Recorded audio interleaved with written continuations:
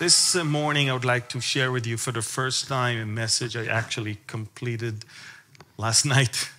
And it's called Israel, God's Nation for a Reason and for a.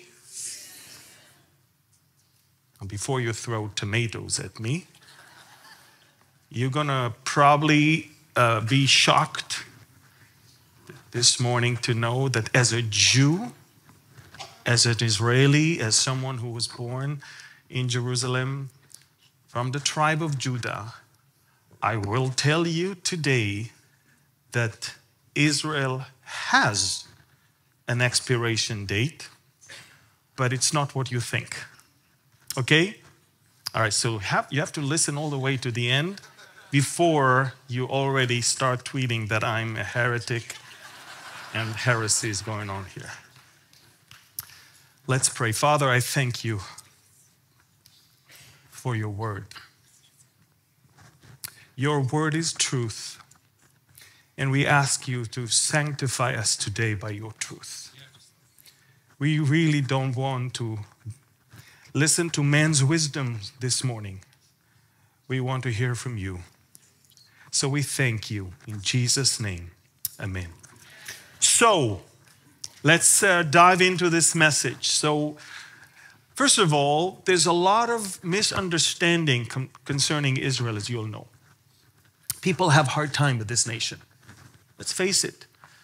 For 2,000 years, they were gone from their land, and everybody felt pretty good with it because, hey, now Christianity is all by itself, no competition anymore. Then comes the state of Israel and changes everything, and and people started wondering, do I need to now become a Jew or what? You know? And uh, it's very interesting because within Christianity, there are two common claims regarding Israel that both are scripturally incorrect. The first one is that Israel has been replaced by the church. They truly say that 2,000 years ago, when the church was born, that was the end of God's affair with Israel. That's it. The church has replaced Israel. But the other claim is not less incorrect, and that is that Israel will remain a separated nation unto God for eternity. And so we have to understand that these both are not based on on the heart of God and the Word of God that are based on things that were taken out of context from the Word of God.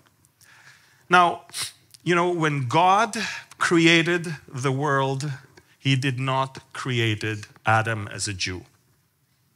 All right, Adam was not circumcised, and and uh, the Sabbath was not celebrated in in the Garden of Eden, and the choosing of Israel began later, of course.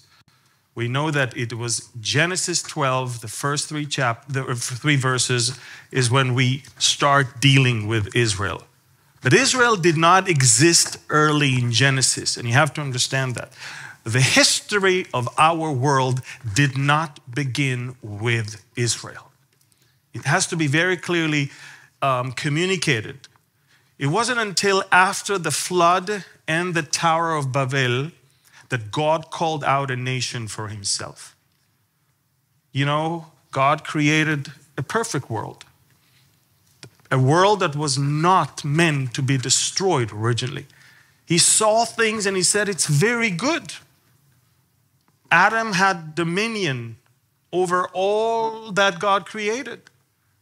Man named all the animals. They all submitted to him. He could call the lion and tell him to sit down, and he would. Snakes would not even, you know, bite or, or, or poison us in, in, in, you know, in the original plan that God had. But in order for God to be truly worshiped and truly loved, he gave man free will, or else he would never be truly worshiped and truly loved. There is no love without free will. That is number, you do not want your children to be programmed to say that they love you. You want them to, to want to say that they love you. And that's what God is all about. So free will came, and we know sin entered. And we all know that for the first few chapters of our Bible, sin is already in motion and everything is deteriorating very, very fast. Israel only entered the scene via Abraham, Isaac, and Jacob after sin already entered the world. But was, Israel was not chosen from the onset of the creation. We have to remember that. And, and, and obviously, the worst part of the Bible is Genesis 6, verses 5 and 6. These are the most, the saddest verses in the entire Bible. Then the Lord saw that the wickedness of man was great in the earth, and that every intent of the thoughts of the heart was only evil continually. And now comes the saddest part of the whole Bible. And the Lord was sorry that he had made man on the earth. He was sorry. It started with one sin about just one fruit one tree, and it ended all the way in every thought, only evil continually.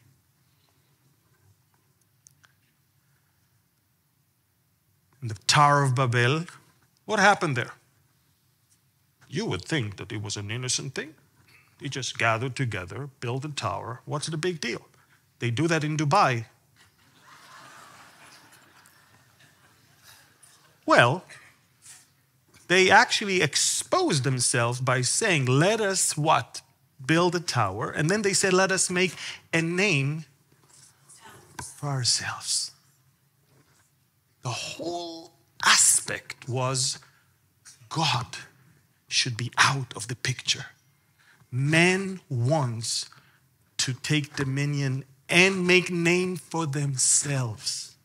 There's one thing that God is always worried about is his name. Remember that. And now suddenly man wants to make a name for himself. That's why First John says that all that is in the world is what? The lust of the eyes and the pride of yeah, but the Greek word alazoneia is actually the pride of the assets.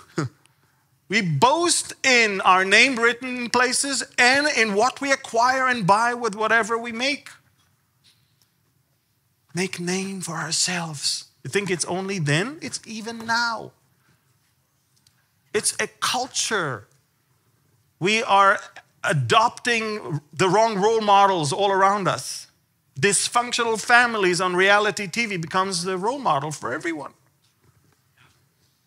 So here we are, a world that is deteriorating so fast, so fast from chapter one to chapter six, and we're done already. And then God decided that He wants a flagship nation. Now, a flagship nation means it doesn't necessarily that they are better people. No, that not at all but it's a nation through whom he will work. And it started with Abraham in Genesis 17. We see then God said to Abraham, As for Sarai, your wife, you shall not call her name Sarai, but Sarah shall be her name, and I will bless her and also give you a son by her. God is telling an old man that he's going to give him a son through his old wife. And then he said, then I will bless her, and she will be a mother of nations. Kings of peoples shall be from her. Then Abraham fell on his face and what? Laughed. Like he thought God has a very good sense of humor. And he said in his heart, and I love it, he said in his heart as if God cannot really understand what we say in our hearts. He said in his heart, he dare not say that out loud.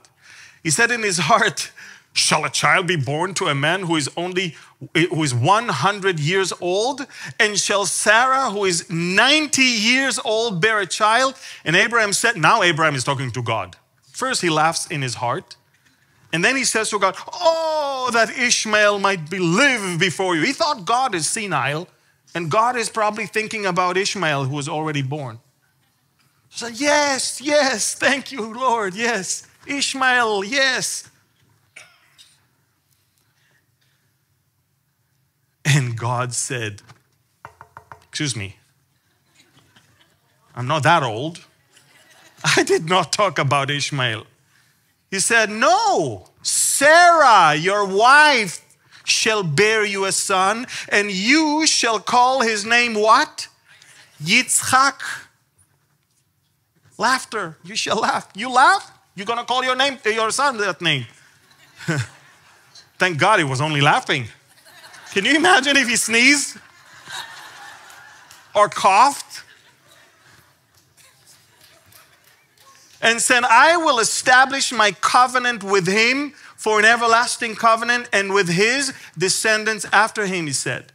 And then, of course, came Isaac, and to Isaac he says in Genesis 25, "This is the genealogy of Isaac, Abraham's son, of Isaac, Abraham's son. Abraham begot Isaac. Isaac was 40 years old. It's getting better now. It was 100, now it's 40.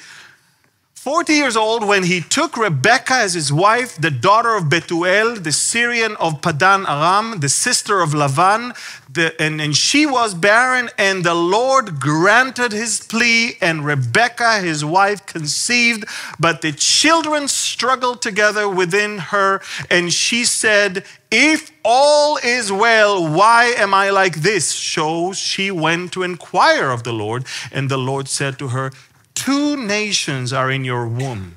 Two people shall be separated from your body.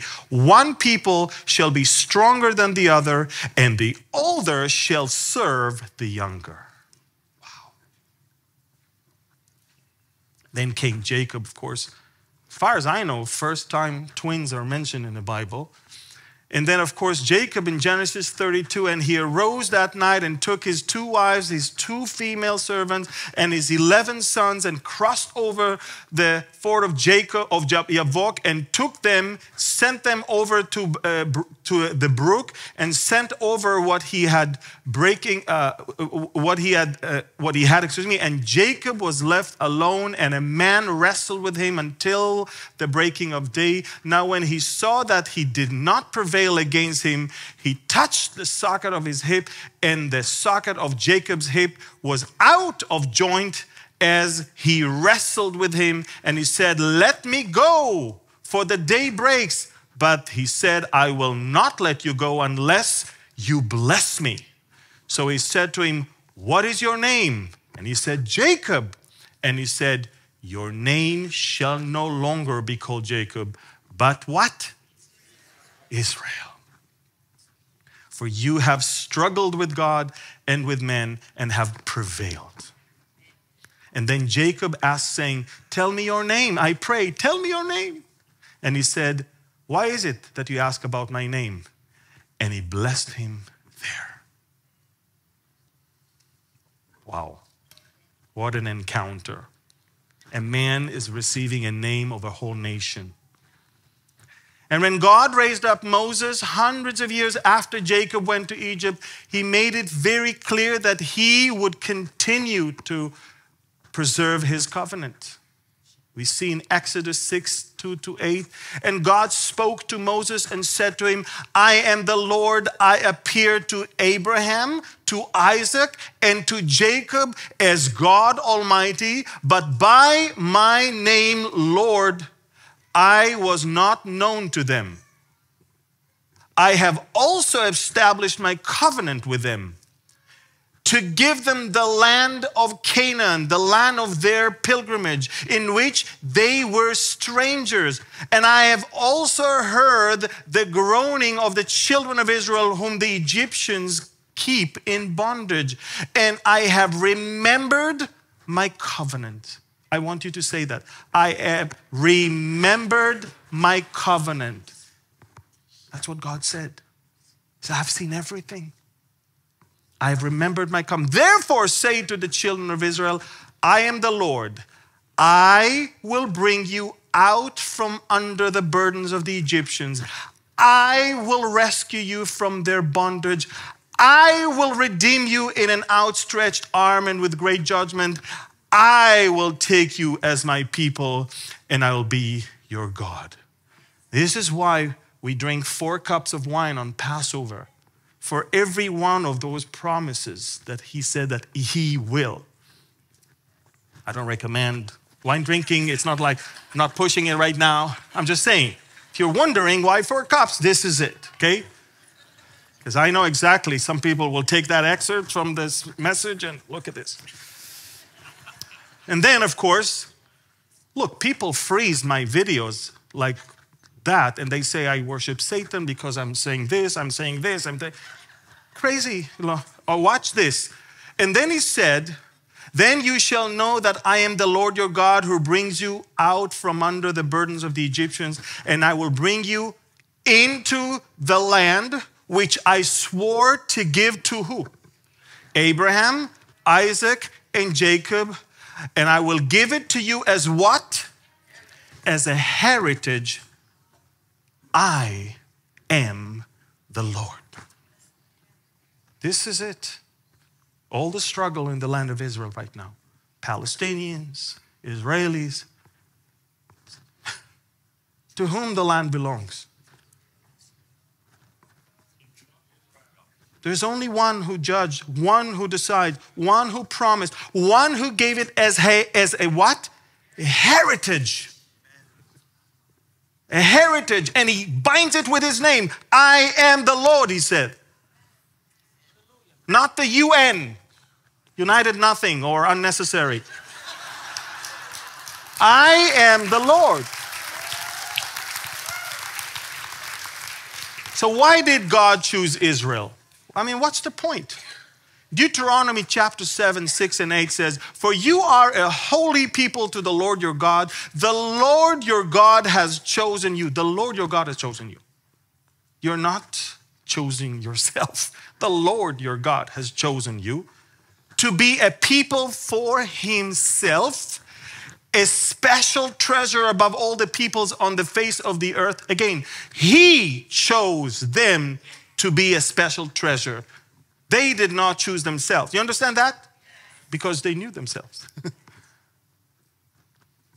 you know yourself. Are you a special treasure? Only in the name of Jesus you are, or else you're not.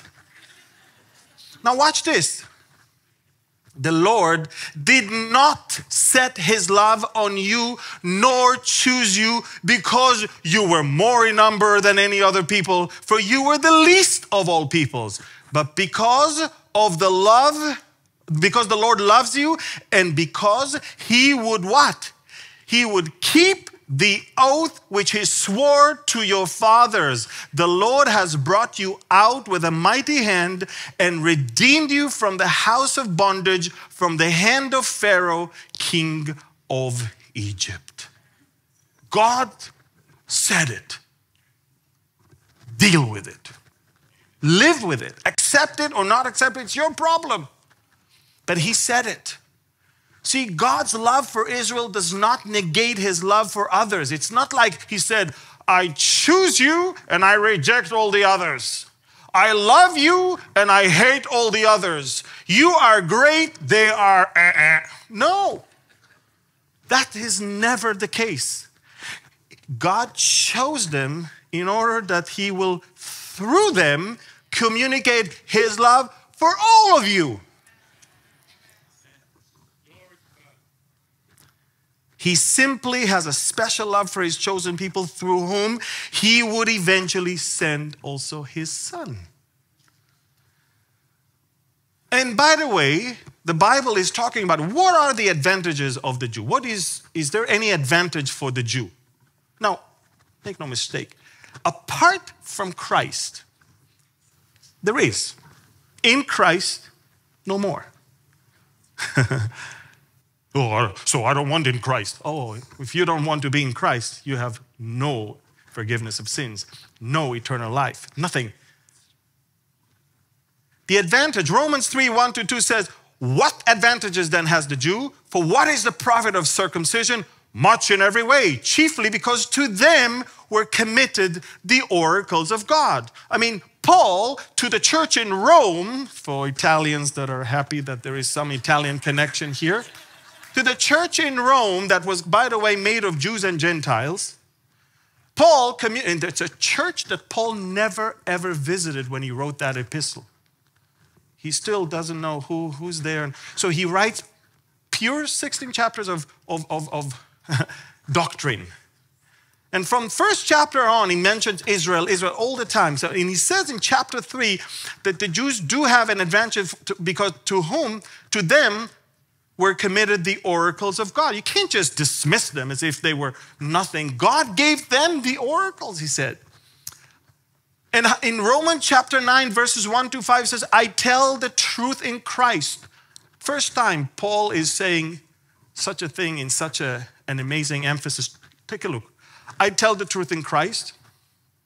I'm not lying. My conscience is bearing me witness in the Holy Spirit. Basically, he covered all of his all of his uh, uh, corners, all of his uh, grounds. He says, "Look, what I'm about to tell you, a, it's the truth.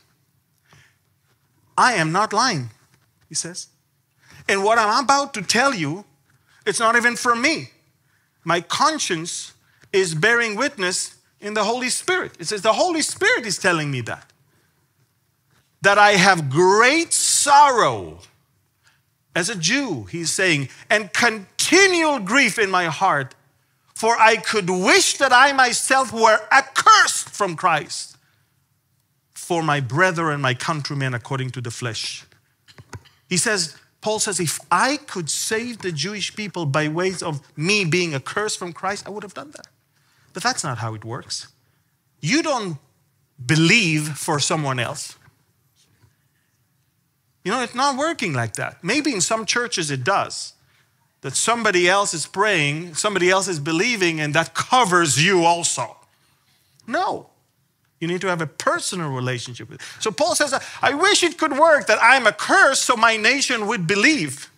And then look what he says. He says, he says, my countrymen according to the flesh who are what? Israelites. And then look, to whom pertain the adoption, the glory, the covenant, the giving of the law, the service of God, and the promises, of whom are the fathers, and from whom according to the flesh Christ came, who is over all the eternally blessed God. Amen. Said, look what God gave them. Look what God did through them. Look at the promises that He granted them. I can't just dismiss them. Everywhere I go, every church, every nation I'm landing in, whether it's in Asia, Asia Minor, whether it's in Greece, I'm going to go first in the synagogue because they need to know. But then, Jesus came to the world and something significant happen. Very significant. While there is a great advantage for the Jew, none of it was necessary when man's fellowship with God was unhindered. Ladies and gentlemen, salvation was never by affiliation. Never. You cannot be born a Christian. Wait a minute, it's written on my certificate. No, what should be written on your birth certificate is born as sinner.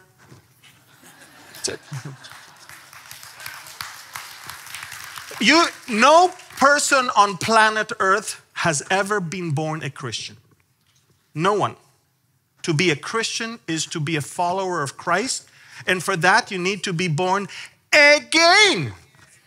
So you cannot be born a Christian if you need to be born again to become a Christian. You understand? Jesus was not a Christian. Now the tomatoes are being pulled out. Jesus, was, Jesus could not be the follower of Christ. He is the Christ. He's not a Christian. He is God in the flesh. At the same time, I'll tell you, God is not Jewish. Mm. Ladies and gentlemen, salvation is not by affiliation. You cannot be born. You, salvation cannot be given to you because you were born to a certain family, to a certain religion. It cannot happen. It never happened. It will not happen. In fact, in Luke chapter 3, Look what says. Then he said to the multitudes that came to be baptized by him, Brother, a brood of vipers who warn you to flee from the wrath to come. Therefore, bear fruits worthy of repentance, and do not begin to say to yourself, We have Abraham as our father. For I say to you that God is able to raise up children to Abraham from these stones. And even now the axe is laid on the roots of the tree. Therefore, every tree which does not bear good fruit is cut down and thrown into the fire. And look what Romans 3 says. What then? Are we better than they? Not at all. For we have previously charged both Jews and Greek that they are all under sin. As it is written, there is none righteous, no, not one. There is one who understands. Uh, there is none who understands. There is none who seeks after God. They have all turned aside. They have together become unprofitable. There is none who does good. No, not one. Wow. And remember Jesus in the synagogue of Nazareth. He opened the book of Isaiah and he was reading, The Spirit of the Lord is upon me. And everybody, yeah. Isn't that Joseph? Eh, if Jesus, the son of Joseph the Comforter. Look, good kid. And then the woman to their husband, Why is ours not like that? And you know, and Jesus is, is saying, is reading all those messianic, amazing prophecies. And then Jesus says, Today, this scripture is fulfilled in your hearing. He basically said, I am the Messiah. And you know what the Bible says? What does the Bible say? All were amazed at the authority and the gracious words that proceeded out of his mouth. He just said, I'm the Messiah. And they're like, wow, wow amazing, gracious words. And then he looked at them he knows what they think. And he said, You probably say, Physician, heal yourself. Do just like you did in Capernaum. We heard all about the miracles. Do it here. We're your brothers and sisters. This is the village. This is where you were raised. Come on, do something. Let's see you in action. And he said, No. He said, He said, Many widows were in Israel in the time of Elijah. But to none of them did Elijah go, but to the widow in Zarephath, Zarephath which is in, in the area of Lebanon of today. And many lepers were in, the, in Israel at that time of Elisha, but to none of them Elisha went, but to Naaman the Assyrian. Then, when they heard that being Jews is not enough, then, when they heard that salvation is not by affiliation, suddenly all those gracious words that he said before were gone, and now they were filled with wrath, willing to even throw him off the cliff. From Israel's inception to this day, God's intent has never been for Israel to be replaced. Make no mistake. In Genesis chapter 17, it says, I will make you exceedingly fruitful. I will make nations of you, and kings shall come from you. That's, of course, the promise to Sarah about the everlasting covenant, everlasting possession, of course. But in Jeremiah 31, look what it says. Behold, the days are coming, says the Lord, when I will make a new covenant with the house of Israel and the house of Judah, not according to the covenant that I have made with their fathers in the day that I took them by the hand to lead them out of the land of Egypt, my covenant which they broke. He says, Look, they have the Torah, but they broke it because the Bible says that if you break one, you broke everything. Says, I gave them the Torah, obviously they couldn't keep it. No one could keep the Torah. The Torah was never given for anyone to be able to keep it. It's the mirror to show you that you need a Savior. And he says, after those days, says the Lord, I will put my law in their minds, and after those days, and write it on their hearts. It's going to be a spiritual thing, not it's a Holy Spirit. It's not going to be just, you know, a law that was given. And then Every man, no more shall every man teach his neighbor and every man his brother, saying, Know the Lord, for they all shall know me, from the least of them to the greatest of them, says the Lord, for I will forgive their iniquity and their sin I will remember no more. Basically, this is a prophecy written by Jeremiah the prophet, the same Jeremiah that saw the consequences of Israel's sins and the destruction of Jerusalem, if you remember. He was there. He wrote Lamentations, the book that you probably read every morning. No? Ladies and gentlemen, this is the same Jeremiah that says there is hope. But it's the same Jeremiah that continued and said, Thus says the Lord, who gives the sun for a light by day, the ordinance of the moon and the stars for a light by night, who disturbs the sea and its waves roar, the Lord of hosts is his name. If those ordinances depart from before me, says the Lord, then the seed of Israel shall also cease from being a nation from before me.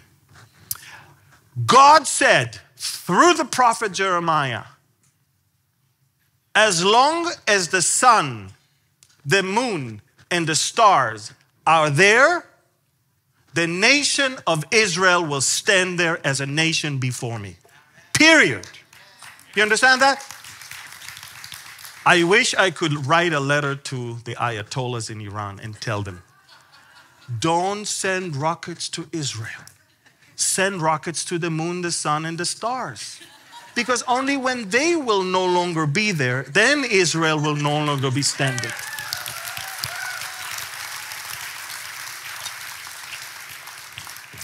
Now, Romans chapter 11 says in verses 28 and 29 concerning the gospel at the moment, concerning the gospel, they are enemies for your sake.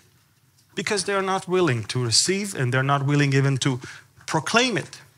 But concerning the election, they are beloved for the sake of the Exactly. Remember, God said, I choose you because of my oath to your fathers.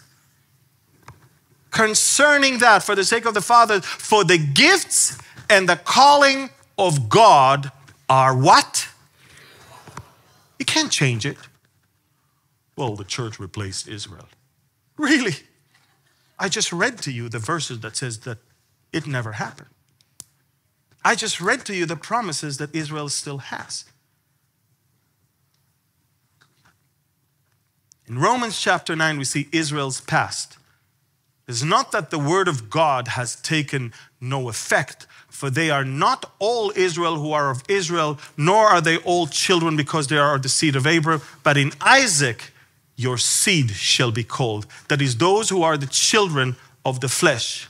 These are not that you see, he's basically saying affiliation or salvation is not by your affiliation in the flesh.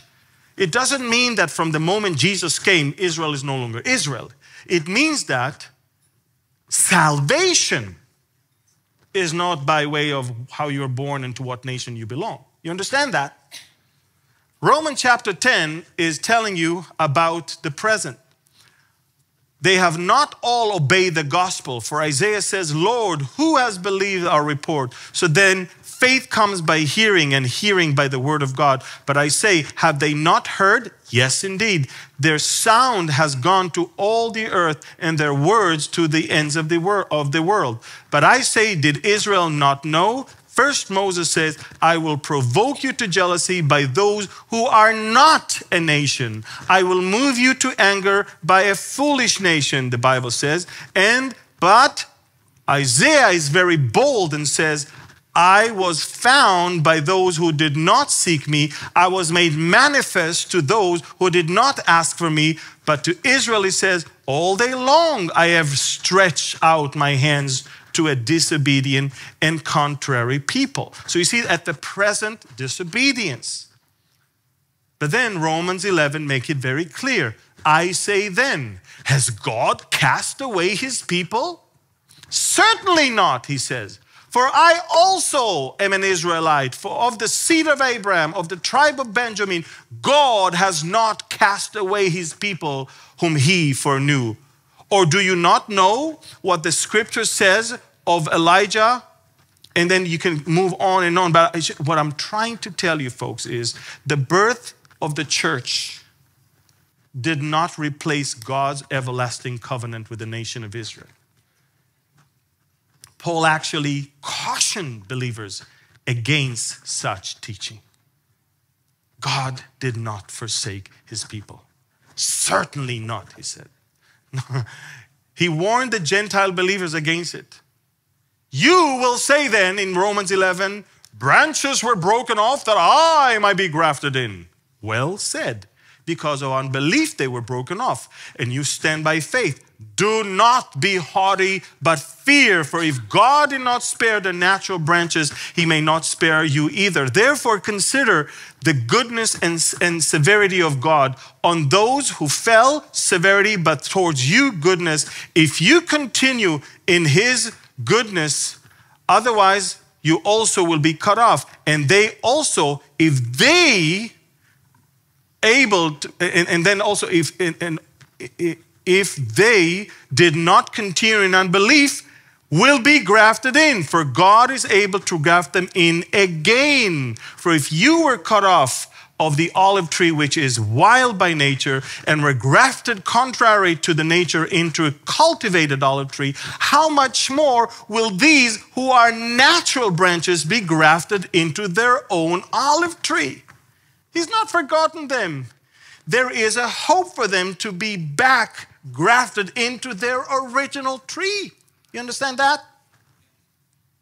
No, I still believe he replaced them. You're entitled to believe whatever you want. It's just not scriptural, that's all.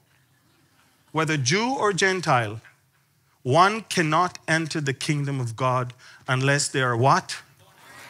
Born again when the angel was sent to Egypt to kill the firstborn, he was not given a GPS location of where the Jews are and said, kill the unborn of all, the, the firstborn of all the rest. In fact, he, he was not even given the task to kill the firstborn of the non Jews. In fact, he was not even given the task to spare Israel. One thing when you see the blood pass over that house. That's it. Ladies and gentlemen, in John chapter 3, there was a man of the Pharisees named Nicodemus, a ruler of the Jews. And this man came to Jesus by night. Why by night? Jesus was not popular, so you will meet him in the daytime. So he comes by night. He's a ruler, he's a leader. He doesn't want to be seen with Jesus in daylight. So he comes by night and he says, Rabbi, we know that you are a teacher come from God, for no one can do these signs that you do unless God is with him. He doesn't know that he is God. he says, God must be with you. No, God is with you. I am Jesus. I'm Emmanuel. I am with you. God is with you. And he said, Jesus answered and said to him, Most assuredly I say to you, unless one is what? Born again. I'm saying that to the Italians, I'm saying that to the French, I'm saying that to the uh, Arabs, I'm saying that to the Jews, I'm saying that to Chinese, I'm saying that to all people on planet Earth. Unless you are born again, you cannot enter the kingdom of God. He said, Jesus said that you cannot see the kingdom of God. And Nicodemus said to him, How can a man be born when he's old? Can he enter a second time into his mother's womb and be born? And Jesus answered, Most assuredly I say to you, unless one is born of the water and the Spirit, he cannot enter the kingdom of God. The first birth is with water. It's a, it's, it's, it's a, it's a in the flesh, but the second one is a spiritual birth. And you, you have to be born of the water and of the spirit, not one only. When Jesus entered the scene, the reality of one new man, whether Jew or Gentile, began to materialize. You understand that? It's very important that you know that. Jesus entered the scene and everything changed and it changed for, the, for good for all of you. Think about it. Simeon in the temple old man is holding baby jesus. And he's saying that simeon lord Now you are letting your servant depart in peace, according to your word. For my eyes have seen your salvation. The name of Jesus in Hebrew is what? Yeshua. The name of salvation. The word salvation in Hebrew is what? Yeshua. That's why he's called Yeshua, because he is the salvation. And he says, I have seen, my eyes have seen your salvation, which you have prepared before the face of all peoples. And look what he says a light to bring revelation to what? The Gentiles and the glory of your people Israel. He is not now the Messiah of the Gentiles and forgot about Israel. He is the light to bring revelation to the Gentiles. Gentiles must convert. Why? Gentiles believed in many gods. They needed a converter to one. Jews did not need to convert, they need to repent because they were having belief in one God, but they went astray. And he had to bring them back to the right. You understand that? And he said, a light of revelation to the Gentile. Revelation, there is one God. They just already know that. They just started believing in the rabbis more than in God Himself, in tales and in fables and in other things, the teachings of man rather than the Word of God. And when he was baptized, John saw him. John did not say, Behold the Lamb of God that takes away the sin of Israel. Look what he says Behold the Lamb of God who takes away, away, eh, away what? The sin of the world.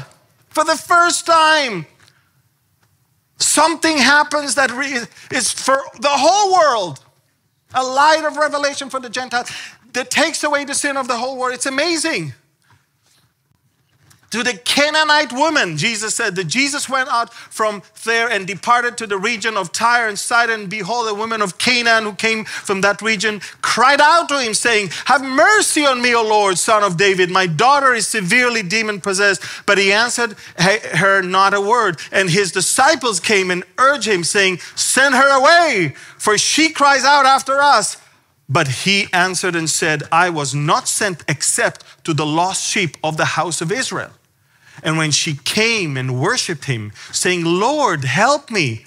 But he answered and said, It is not good to take the children's bread and throw it to the little dogs. And she said, Yes, Lord, yet even the little dogs eat the crumbs which fall from their master's table. And Jesus answered and said to her, O woman, great is your faith. Let it be to you as you desire. And her daughter was healed from that very hour, at that very hour. And to the Samaritan woman, Jesus said to her, Woman, believe in me. She said, Look, your father is worshiping Mount in Temple Mount, our father is in Mount Gerizim, you know. Why are you here? what are you doing here? And Jesus says, Woman, believe me, the hour is coming when you will neither on this mountain nor in Jerusalem worship the Father. Do you understand what just happened? He just declared that the location of the temple is irrelevant from the moment he arrived in the world. And watch this. Wait, no need. He said this We know what we worship, for salvation is of the Jews. Hello? That is the proof that Jesus was born as a Jew. Because they, you know how many people say that Jesus is not, Jesus is the first Palestinian. Jesus is this, Jesus is that, Jesus. Look what he says. And then what it says, but the hour is coming, and now is, he says, now, as you look at me, as you talk to me, he said, when the true worshipers will worship the Father in spirit and truth, for the Father is seeking such to worship him. Jesus basically said to the Samaritan woman, I came to bring an end to religion. You understand? Enough. Why? Because God is spirit, and those who worship him not should, must worship him in spirit and in truth. So we see the promises in the old are being fulfilled in the new. Isaiah said, Indeed, he said, it is too small thing that you should be my servant and to raise up a tribe of Jacob and to restore the, the uh, preserved ones of Israel. I will also give you as a light to the Gentiles that you should be my salvation to the ends of the earth, he said. Hosea says, Then I will sow her for myself in the earth, and I will have mercy on her who had not obtained mercy. Then I will say to those who were not my people, You are my people. Look at yourself, all of you. You're Gentiles. You are pig eating Gentiles. Now, maybe you are not pig eating, but you are Gentiles but you are Gentiles and you were not his people when he was before Jesus came. You understand that? And look what he says I will say to those who were not my people, now as Jesus came, when faith in Christ is, when you understand the light of revelation to the Gentiles, when you understand that he came to take the sin of the whole world, he says, You are now my people, he says. And he says, And they shall say, You are my God. God of Israel, the Lord Jesus Christ, He is now our God. You say that. And who said that? Hosea. Romans 9:25 as he says also in Hosea. Paul is quoting Hosea to the church in Rome, to the Italian spaghetti eating. He said to them, I will call then my people who were not my people, and her beloved who was not beloved. In Christ, there is no Jew nor Greek. We are one new man. Wait, why are you? Listen, let's agree you don't clap. It's a waste of time. Listen to this. In Christ, in Christ, there is no Jew nor Greek. But in reality, today in the world, there is a Jew and there is a Greek. In Christ, there's no male nor female. But in reality, whether you were brainwashed or not, still there is a male and female. You understand that that's, but in Christ, that plays no role anymore. In Christ, your status, whether you're male or female, whether you're Greek or Jew, that's it, it's the same. In Christ, one new man, all equal. Yeah, but I really want to be a Jew. Why? Well, you're Jewish and Jewish people are more. No, no. We, we, listen to me. Listen to me. I don't understand why people want to be Jews. First of all, we don't want you to be Jews. But second, what's the point? In Judaism, 90% of the people are just the people and then you have the very little sliver of people that are Levites and priests. You were already promoted as priests. Why do you want to be demoted to the people? What's the point? I don't get it. One new man. Romans 10 for the scripture says, Whoever believes on him will not be put to shame, for there is no distinction between Jew and Greek, for the same Lord over all is rich to all who call upon him, for whoever calls on the name of the Lord shall be saved. Amen.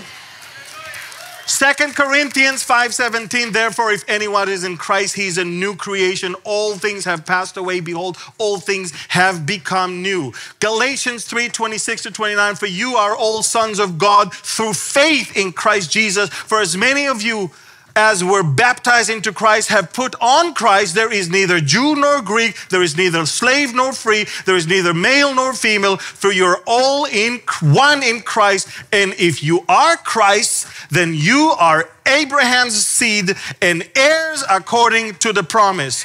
Ephesians 2 11 to 18. Therefore, remember that you once Gentiles in the flesh, who are called uncircumcision by what is called circumcision made in the flesh by hands, that at that time you were without Christ, being aliens from the commonwealth of Israel strangers from the covenants and promise, having no hope and without God in the world. But now in Christ Jesus, you who once were far off have been brought near by the blood of Christ, and for he himself is our peace, who has made both one and has broken down the middle wall of separation, having abolished in his flesh the enmity that is the law of commandments contained um, in ordinances, so as to create in himself one new man from the two, thus making peace, and that he might reconcile them both to God in one body through the cross, thereby putting to death the enmity. And he came and preached peace to you, to you who were far off and to those who are near. For through him we both have access by one Spirit to the Father. First Peter chapter 2 you, you are chosen generation, royal priest, priesthood, holy nation, his own special people, that you may proclaim the praises of him who called you out from darkness into his marvelous light, who once were not a people, but now the people of God, who had not obtained mercy, but now have obtained mercy. Thank you, Lord. The nation now comes the part where you can take the boxes of tomatoes out and get ready.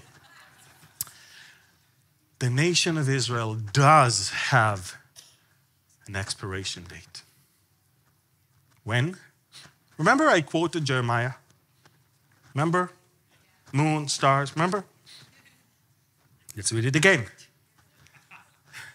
Thus says the Lord who give the sun for a light by day, the ordinance of the moon and the stars for a light by night, who disturbs the sea, if those ordinances depart from before me, says the Lord, say that now, then the seed of Israel shall also cease from being a nation before me forever.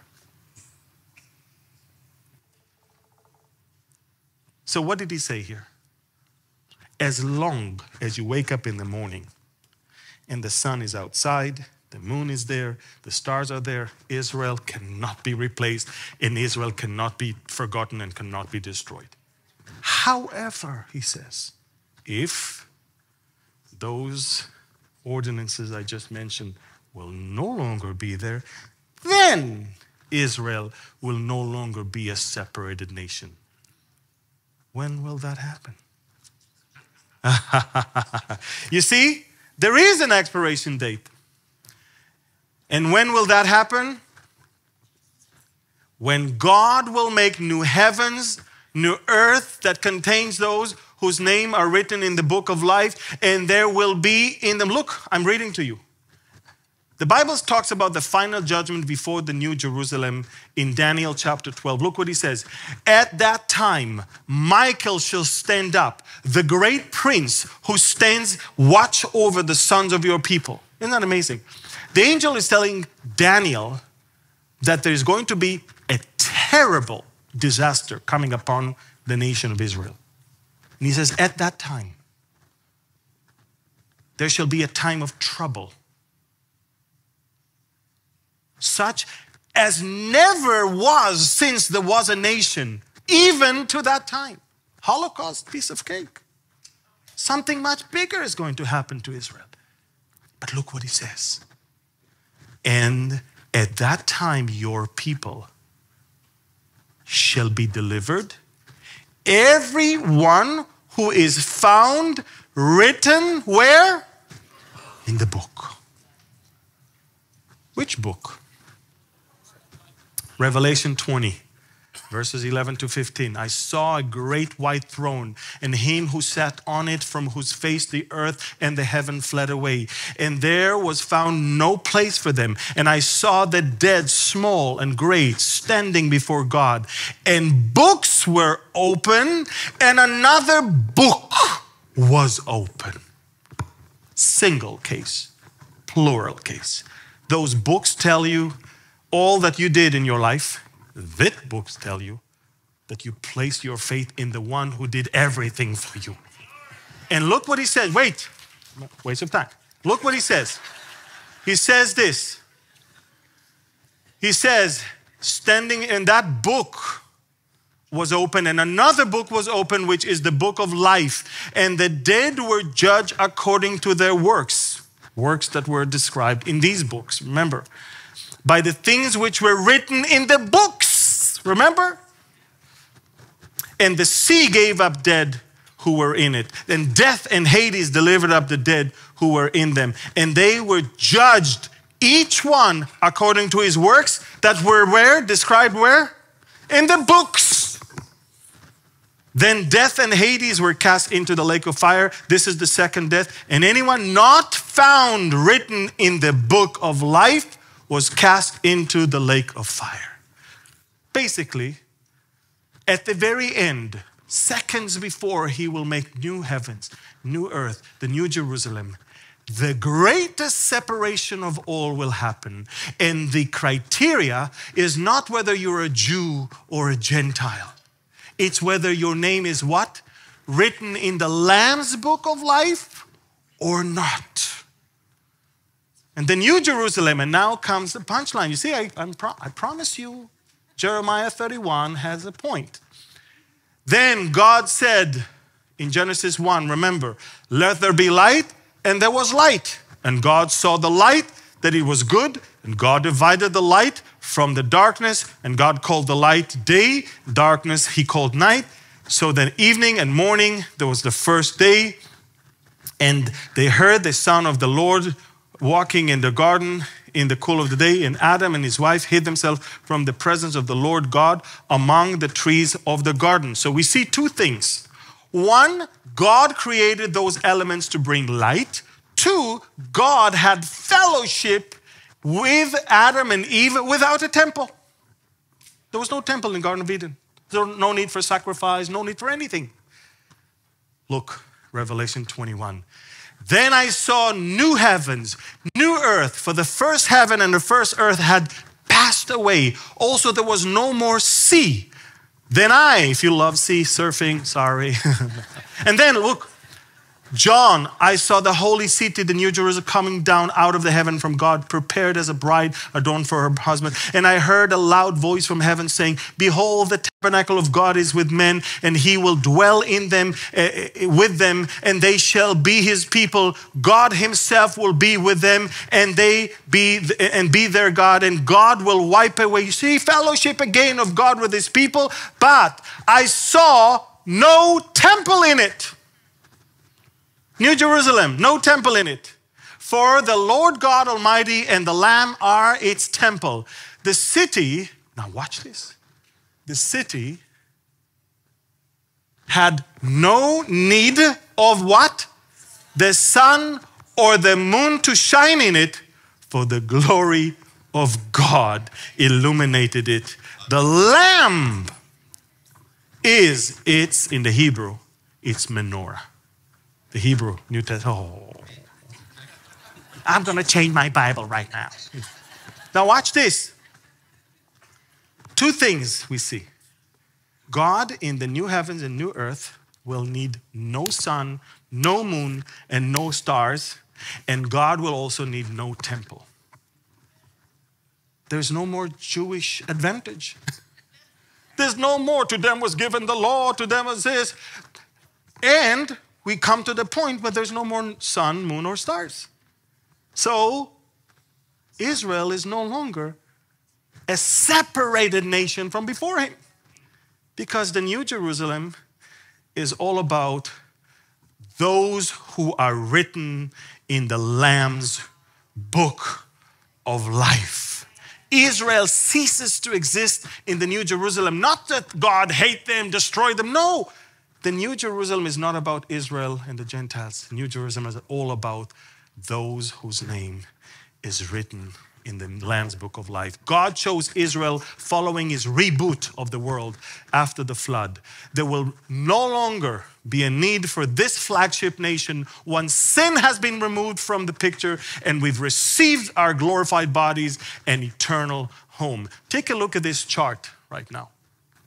Now, it's a, if you can dim the light, you can clearly see there are actually even different colors. Creation to Abraham, no Israel. Abraham to Jesus, predominantly Israel. Jesus to the end of the millennial kingdom, Israel and the church. We exist together, we coexist now.